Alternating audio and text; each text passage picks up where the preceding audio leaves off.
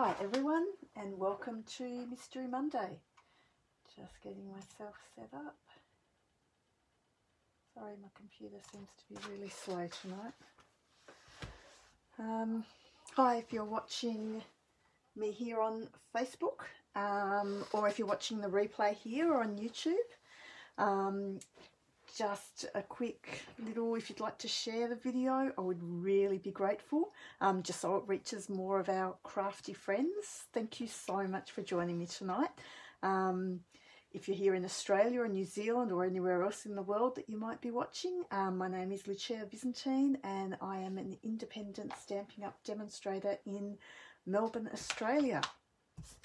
Um, so just a couple of little housekeeping things. Today, the 31st of May, is the last day to take advantage of our Join Plus offer.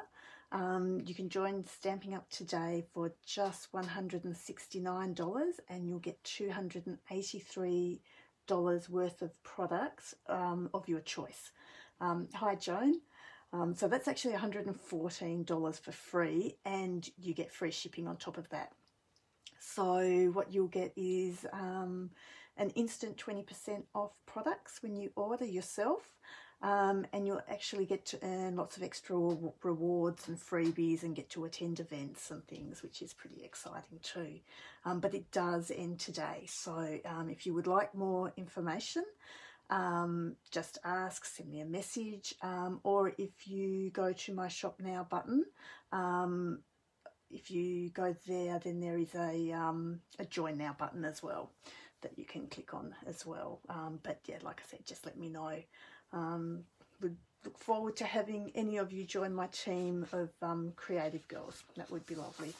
Um, and the next thing is we still do have a Connect, Craft and Collect offer. Now that um, is happening still till the 14th of June.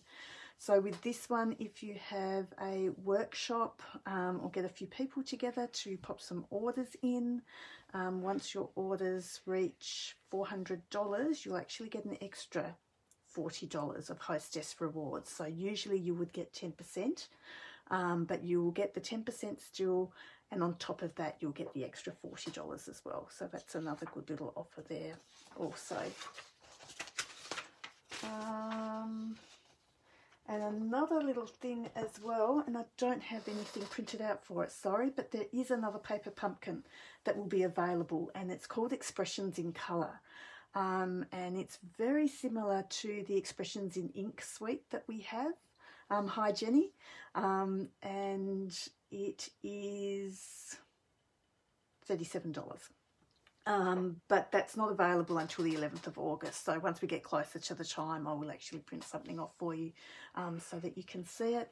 And lastly, um, as of tomorrow, our kits are available um, to order. So there are no actual kits in the new catalogue. Um, but if you go to the online store tomorrow, you should be able to view them. Um, there are two price points, so there will be $33, which will have a kit with a stamp set included, and everything else that you need um, to create the kit will be there as well.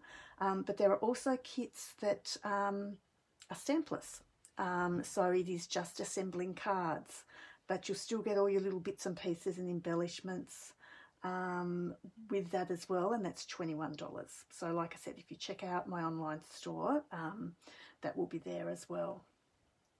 So we might get started. So like I said what I'm going to um, be showing tonight is part of the Expressions in Ink suite. Um, but what I'm actually going to concentrate on are the dies or a die in particular so I will show you the die we are using, which is this one here. Okay, so I've got myself a little bit organised. I've cut out some card bases. I've cut out some mounts. Um, and I just thought I would go through and show you a few ways that you can use it. So firstly, you could use your die as is, just in a colour. So white, I've got one here um, that I have done just in a black with some of the designer series paper behind it, um, which still looks gorgeous. but tonight I'm going to show you just a few other little ways of doing things. So like I said, I've just got my card bases. I have just cut out a, um, a couple of mounts as well, which are in the colours that I'll be using for um, daubing. So what I will just get out now is a card base. Not a card, card base, sorry. This is one of my mounts. So this is one of my mounts, and I can't remember the measurements I put down. I think it's 13.85 by 9.5, this particular mount. That would be it. So what I'm going to do first is actually daub it and show you how we can get a little bit of colour onto our um, die here. So like I said, these are the colours that I've got here. I have got Highland Heather, Polished Pink, Pale Papaya and Soft Succulent. So I hope you can see those a little bit there. And I have daubers, um, and I usually have a dauber to match each colour or colourways. So I mean, if you've got a couple of colours that are similar, um, you're fine to use your dauber on the two colours. So let us get started here. So what I am just going to do is use my dauber, just pop it on your finger, open your ink, and I'm just going to use the ink straight from the pad. Okay, and just colour in the leaves with my dauber.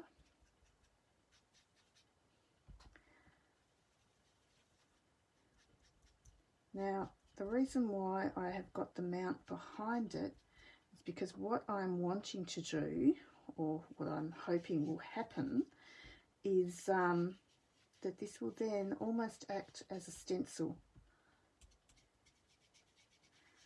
So as I'm daubing, I'm just going to get a little bit sort of on the outside as well, just so that we can get the um, the definition of the leaves.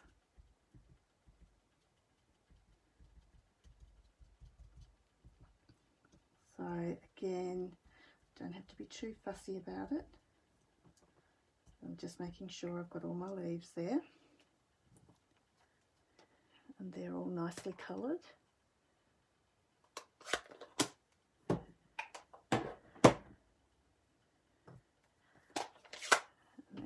Get to the next thing. So I'm just going to do my really little roses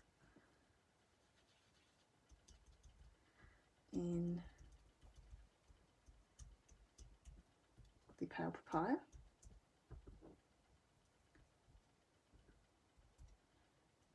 And I am smudging the um, the dauber down a little bit just so that the colour goes through the um, the die as well. So one of these flowers I think looks a bit rose-like, so I will do it in a beautiful, in a beautiful polished pink.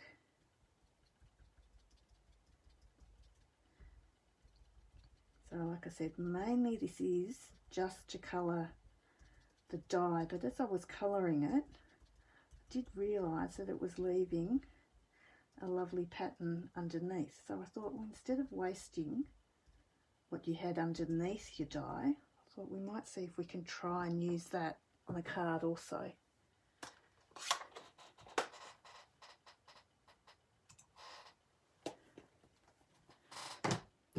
Okay, and lucky last is Highland Heather.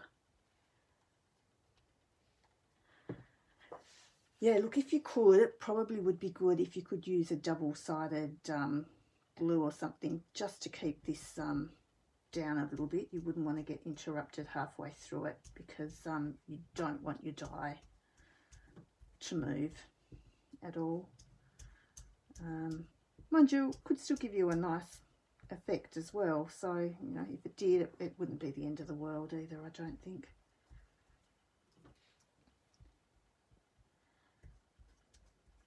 And it just gives that die a little bit more colour as well. So hopefully it will just pop a little bit more. Now again, I'm just going to come outside the edges of the die.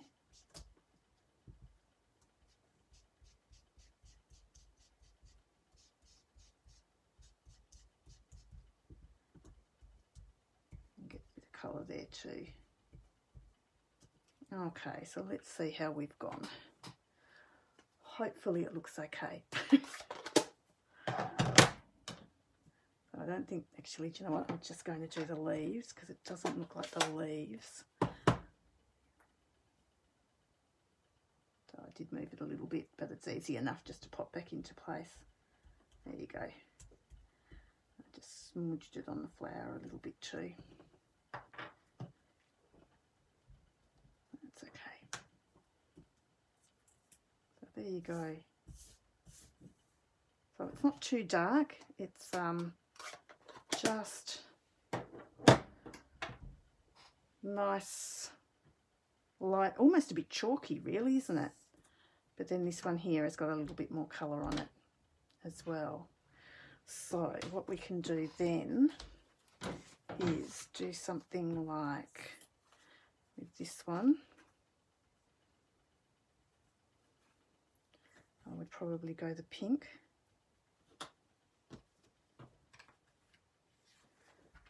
and then we could just go a white mount.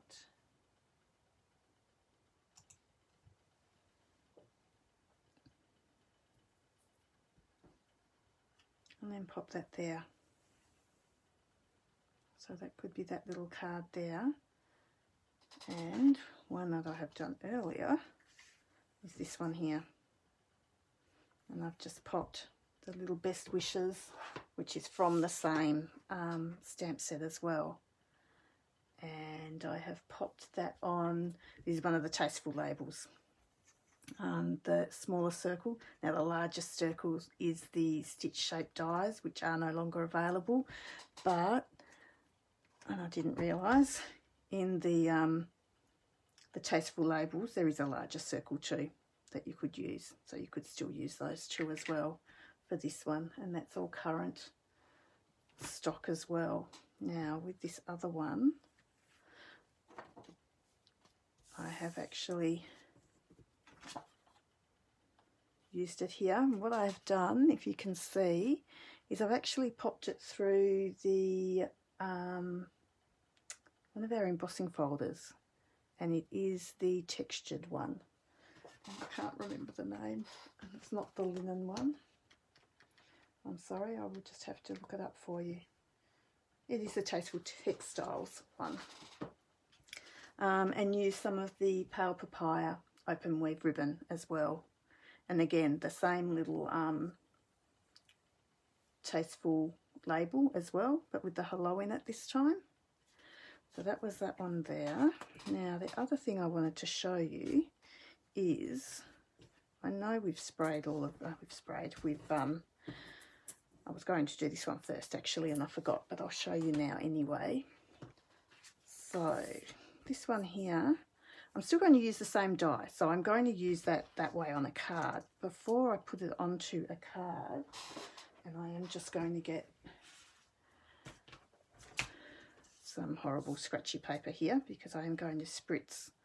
So we do have Stampin' Up spritzers so what I have in my spritzer is Calypso Coral um, and I have used isopropyl as well. So I've probably put about to that much isopropyl. I probably put about seven drops of ink, I would say in there. And what I'm going to do, and this will give a really lovely light effect, is I'm just going to spritz over this and hope it works okay. Um, I probably wouldn't go too close and you kind of don't want to go too close either because you don't want your um, die to blow away. So if we go, I'll just spray it here first, okay.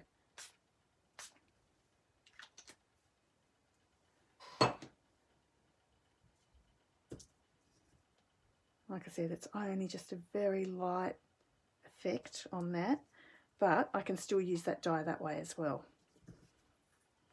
So let's take that away. So what you could do with this one, and I think with this one, as much as I used the um, Calypso Coral ink, it seemed to go with the Flirty Flamingo um, cardstock. So for this one, I didn't cut any thing for the base. So I will just do one of these quickly. So I think I had 9.8. And 14.15. So what I'm doing there is I'm just making it three millimeters larger than this mount that I've used.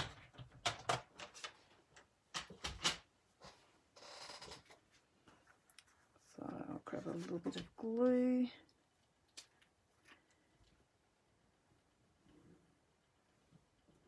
Pop that behind. And you can get different effects with this. So the closer that you go with the spritzer, um, the deeper in colour it would be as well. Um, but I do like it just being a little bit subtle. So like I said, it's it's not a really crisp image, but it's still quite a lovely image on that. And then I'll just pop that onto a card base. But what I will do as well, and like I said, the um, the Flirty Flamingo is what matched it best. So I might even go the Flirty Flamingo ink to do my sentiment. So like I said, the ink I did use was Calypso Coral, but I think it does get watered down a little bit because that's the difference in colour there. Just so that you can see. Sorry, I'm just going to grab a stamp and we might just make this one a happy birthday. Oh, we might go thank you.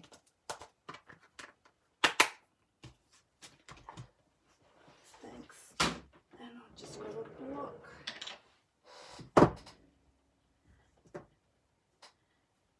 pop that on our block. And like I said, we'll stick with flashy Flamingo.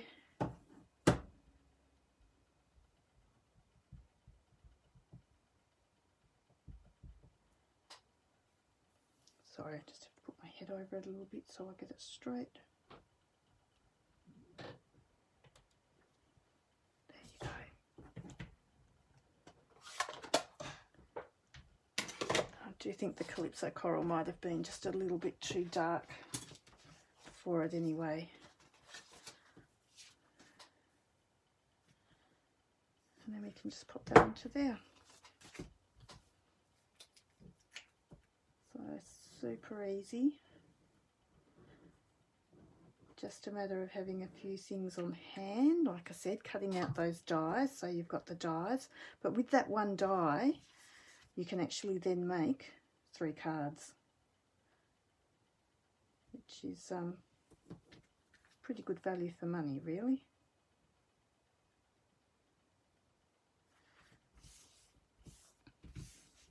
There you go. So we've got that one, that one, and that one, and that's using all the one die. So like I said, one side we've spritzed, the other side we've coloured, and then we've used it as a template or as a um, stencil when we've done um, that card there as well.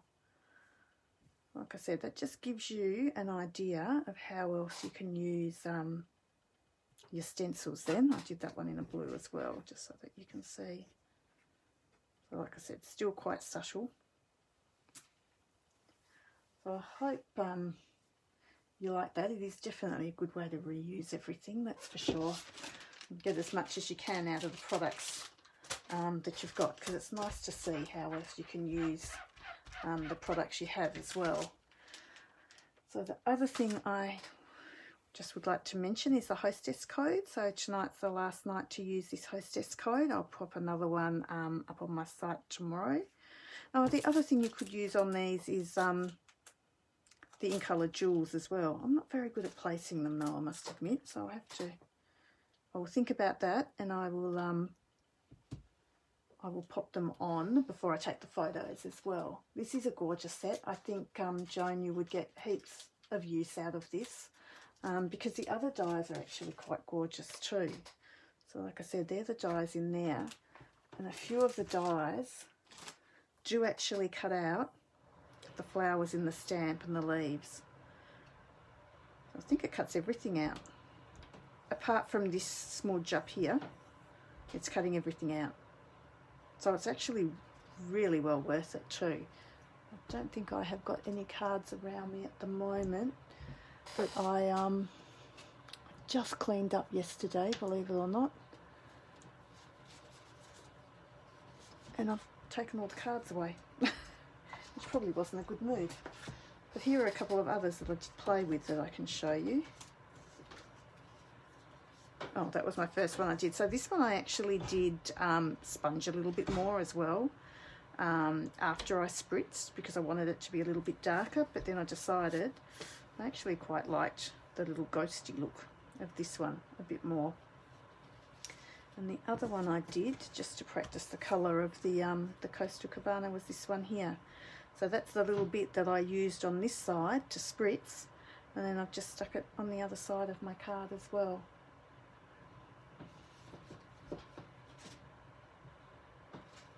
Oh, so I think you would definitely, like I said, I've this, this is probably nearly the only stamp set I've um, I've used so far since I've um, had the new catalogue.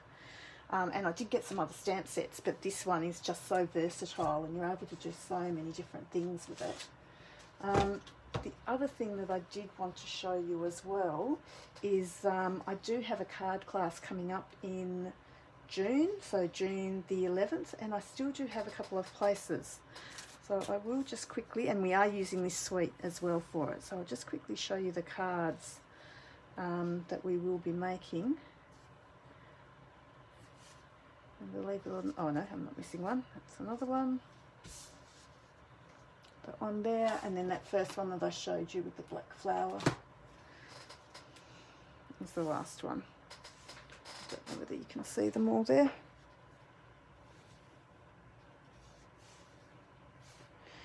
Um, so if you're interested in that, just um, send me a message as well. So the class is $35 and then postage. Now, as we're in lockdown at the moment, I do have little express post um, bags that I will put them in, which is um, mm, $7.60 I think they were, so it'll be $7.60 postage, but there are all the cards and everything is included. So the only thing, I've got one upside down, the only thing that you would need um, to provide are dimensionals and your adhesive for those. Um, so like I said, that is on the 11th. It's online. It's on a Facebook group, a private Facebook group. So I will invite you to join that as well. Um, if you can't make it on the 11th, don't stress because it will stay there and you can watch it later as well. So they are my cards. I hope you liked the cards I did make tonight though because I was actually, it was lovely. It's, it's just like I said, sometimes it's nice just to see what you can do with particular sets when you've got them and, and just different ways to use them. Like, I mean, there is so many ways you can use this set anyway, but like I said, that's just something a little bit different. I hope you enjoyed it. I hope all my Melbourne friends are keeping safe and keeping busy at home. Um, sending all my love to you and um, I shall see you again next Monday. Unfortunately, Coffee and Card won't be going ahead, and I would say definitely not tomorrow, but I would say for next week we might give it a miss too and just see how we go here as well. So take care everyone, and I will see you next Tuesday. Thank you very much for joining me. Bye.